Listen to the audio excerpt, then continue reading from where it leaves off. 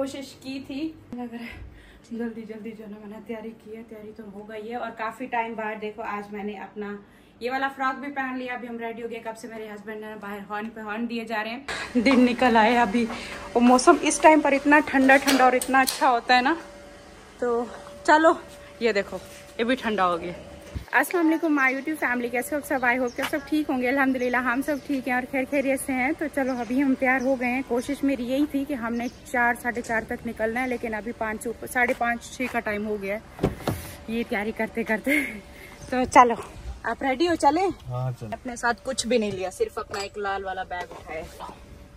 चार और छः बज गए क्योंकि सारी तैयारी वारी करनी और सारी जिम्मेदारियाँ देनी हर एक चीज़ बाबर को फ़ोन कर दिए। हाँ, अभी मेरे हस्बैंड यहाँ पर गए हैं बैंक से पैसे निकलवाने हैं और बाकी आप सबको, चलो मैं बता ही दूँ कि मैं क्यों ट्रैवल कर रही हूँ। मैं अपने एक काम के लिए जा रही हूँ। बहुत सारी आप सबकी दुआओं की ज़रूरत है। काम के लिए कि अल्लाह उसमें बरकत डाले और मेरे लिए उसमें आसानी हो, मज़ीद।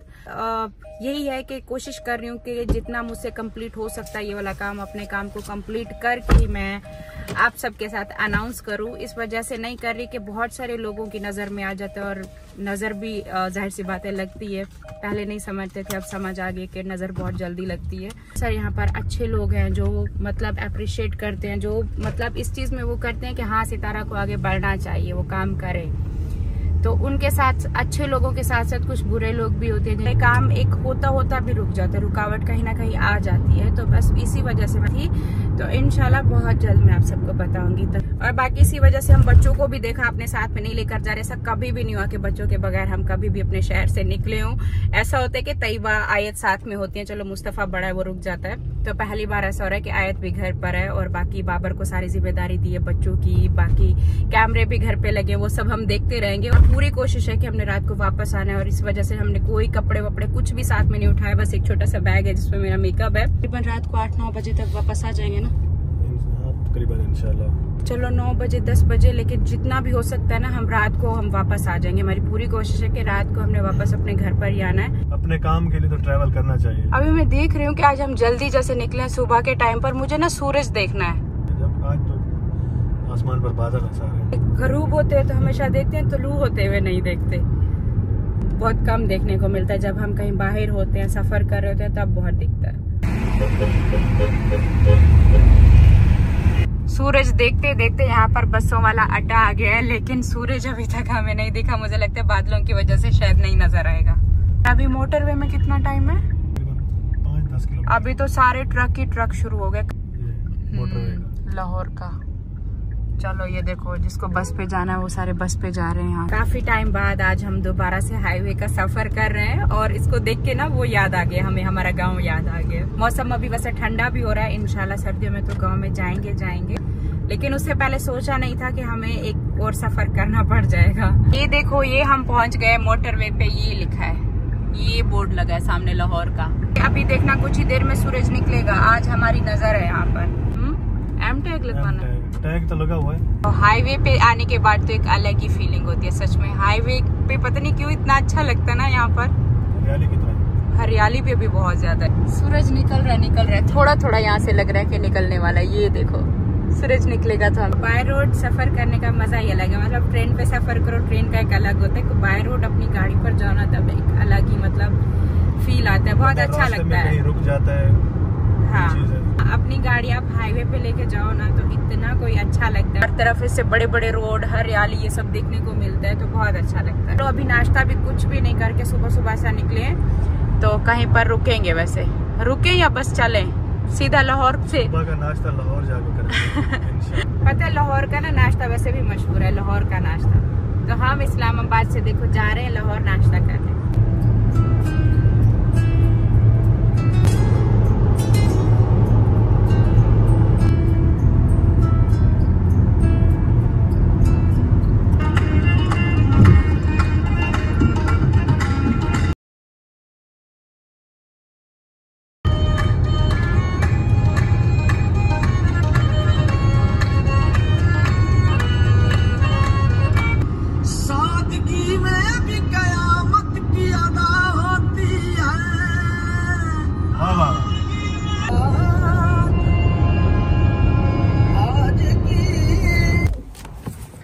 ये देखो ये सबसे पहला हमारा स्टॉप हो गया।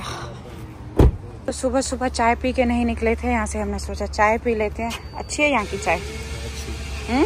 बाकी इसके अलावा हमने यहाँ से बबल भी ले ली एक ये डिंग डोंग एक डिंग डोंग वाली और एक ये इलायची वाली। नॉर्मल है? मीठा नहीं है इसमें ज़्यादा? तो उसे बोलो थोड़ी सी चीनी डाल दे। और यहाँ की चाय कैसी लगी आपको? हम्म। यहाँ की चाय। अच्छी है। मैंने सोचा मशीन से चाय वो मशीन वाली है ना? तो मुझे नहीं इतनी अच्छी लगती ना। जब भी मैं जाता हूँ ना गाँव की तरफ़ जाऊँ कहीं भी जाऊँ ना तो मेरी कयाम गाय यही है। नहीं रुकते तो हम यहाँ पर है लेकिन चाय हम वहाँ आगे से पीते हैं। मुझे यहाँ का नहीं पता था कि आपने यहाँ जब मैं अकेला आता हूँ ना तब कभी- कभी, हाँ। अच्छा अच्छा सब मशीन की चाय मुझे अच्छी नहीं लगती लेकिन अच्छी है। अच्छी है बनी साथ में कुछ लगाया हुआ है ये देखो ना। घास है या कुछ चीज़ है? इतना टाइम बाद आज हम सफ़र करें ना इतना अच्छा लग रहा है ना यहाँ पर आकर। हम्म, दिमाग थोड़ा फ्रेश हो गया घर बैठ बैठ के ना कभी कभी निकलना चाहिए उसे। तो अच्छा लग रहा है सफ़र करके। तो चलो मैं तो वॉक करके चाय पी के आ रही हूँ।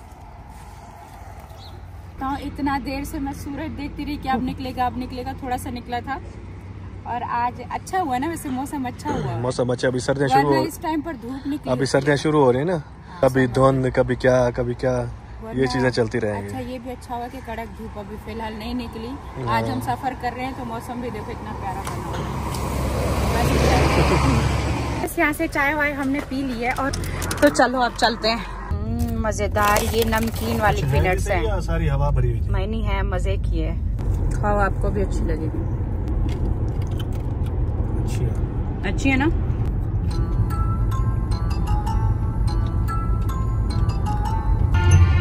अभी ज़िंदा हूँ तो जी लेने दो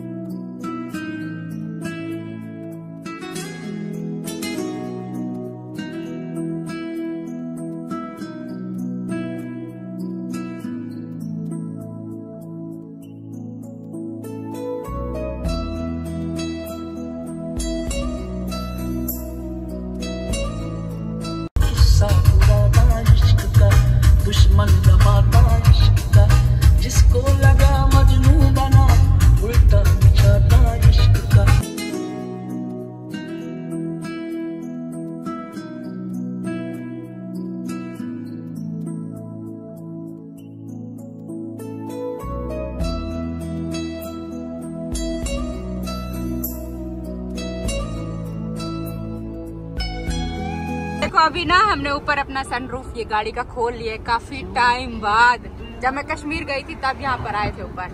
आज मैं ऊपर दोबारा से जाने वाली हूँ। जाऊँ हमेशा बच्चों की वजह से ना मैं यहाँ नहीं जाती। आज यहाँ से हम देखते हैं। तो तो चलो अभी जाना ऊपर चलते हैं। चलो ऊपर चलते हैं। जाऊँ? यहाँ तो मेरा फ़ोन उड़ गया। अभी भी बहुत तेज है। ओ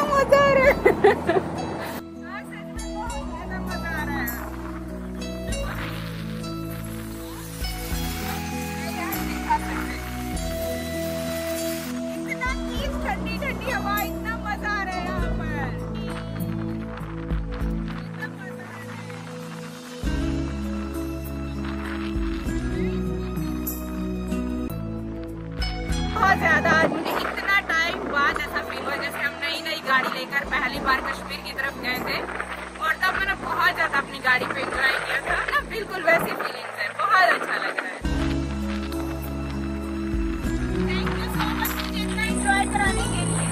मेरे हस्बैंड के साथ आज मेरे एक बेस्ट मोमेंट है अपनी लाइफ के। चलो, ज़ोर लगा के हैया ज़ोर लगा के हैया दौड़ाओ, जरा गाड़ी चलो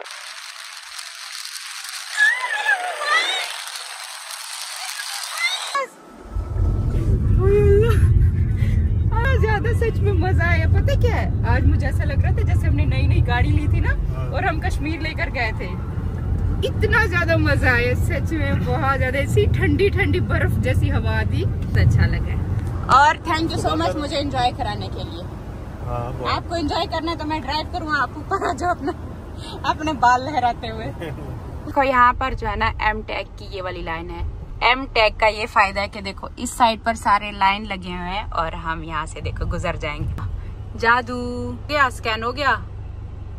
अरे हट जाओ। ये देखो खुद ब खुद हट गया। गाड़ी पर एम टैग लगा है इसका हमें ये फ़ायदा हुआ। हो चुके हैं। और फाइनली हम लाहौर पहुँच चुके इतना घंटे का सफ़र करने के बाद तो चलो, नाश्ता तो हम बाद में कर लेंगे, जिस काम के लिए आए थे, पहले वो काम भी करते हैं, और रास्ते में है मरियम सिस्टर का घर, लाहौर में आए हैं तो चलो, उससे तो मिल के जाते हैं। बस जल्दी में सब पाँच, दस मिनट के लिए बाहर ऐसा दरवाजे पे ही अंदर तक नहीं जाना मुझे।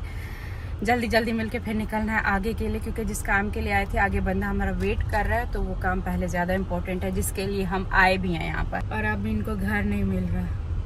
लोकेशन है, घर नहीं मिल रहा। अस्सलाम वालेकुम। कैसी हो? ठीक हो? मैं आई थी अपने काम के लिए और मैंने कहा चलो हर दफ़ा ऐसा होता है कि आपको भूल जाती हूँ इस दफ़ा से मिल के जाती बस आ रही यहाँ से। नहीं, नहीं अंदर घर नहीं मेरे पास टाइम नहीं है। नहीं नहीं जिस चीज़ के लिए आए ना वहाँ जाना है। मैं सिर्फ़ यहाँ पर बस आपको ऐसे तो नहीं ऐसे तो नहीं अस्सलाम वालेकुम फहद भाई कैसे हैं? ठीक है? अल्हम्दुलिल्लाह ठीक। मैंने कहा बस इधर से ना मिल के हम निकलते हैं। हर दफ़ा ऐसा होता है कि ना मैं जब भी आती हूँ मैं चली जाती हूँ। चलो यहाँ पर ज़बरदस्ती हमें बिठा के ये देखो इतना कुछ यहाँ पे बना कर ले आई है। तो फिर इंशाल्लाह मुलाकात होगी आपसे आप फिर से आए और बहुत बहुत शुक्रिया आपका। और बहुत अच्छा लगा चले। दस मिनट के लिए आई थी एक घंटा बैठ के जाए हाँ, नहीं मगर आप बहुत थोड़े टाइम के लिए हाँ चले फिर होगी इंशाल्लाह। और जल्दी में मुझे फूल वूल कुछ नहीं मिले तो ये मैं मिठाई बस यहाँ कर एक से लेकर आई हूँ। बहुत शुक्रिया ये भी बहुत बड़ी चीज़ है। चले। चलो यहाँ से मरियम से भी मुलाकात होगी बहुत अच्छा लगा उससे मिलके काफ़ी टाइम बाद हमारी मुलाकात हुई और पाँच दस मिनट की मुलाकात भी एक डेढ़ घंटे की हो गई। मैंने सोचा बस पाँच दस मिनट में। और देखो टाइम इतना ज़्यादा हो गया हमें यहाँ मार्केट में रात हो गई है और यहाँ पे रश चेक करो कितना ज़्यादा है। हम तो सुबह से आए हैं और इसी रश में फंसे हुए हैं और अब जाकर हमारा काम खत्म हुआ है। अब चलते हैं कुछ खाते हैं बहुत ज़्यादा भूख भी लग रही है। इतना ज़्यादा रश था गाड़ी हम अंदर नहीं लाए तो अभी हमने ऑटो कराया और अब हम ऑटो पे चलेंगे। देखो अभी हम ऑटो में बैठ गए इतने टाइम बाद। देखो इतनी ज़्यादा हमें खुशी थी ऑटो में बैठने की लेकिन आज हम इतने ज़्यादा थके हुए हैं कि बिल्कुल कुछ समझ में नहीं आ रहा। रश इतना ज़्यादा है बहुत ज़्यादा यहाँ पर। ऑटो बुरा हाल हो गया। कुछ खा लेते हैं गाड़ी के पास जाते हैं यहाँ पे बहुत रश था गाड़ी अंदर नहीं लेकर आए हम। और ऑटो हमें गाड़ी तक ले जाएगा। अब कुछ खाए बुरा हाल हो गया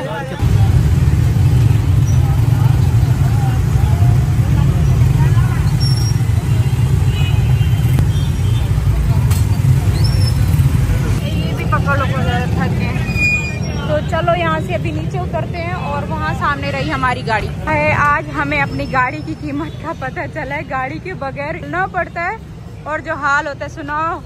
गाड़ी के बगैर क्या हाल हुआ है? मेरा बहुत बुरा हाल हो गया मुझे बैठना और मुझे कुछ खाना भी है।